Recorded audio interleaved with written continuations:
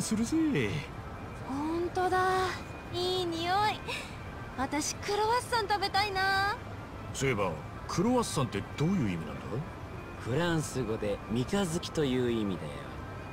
へえ詳しいな。まあ昔遊んだゲームで覚えた知識だけどね。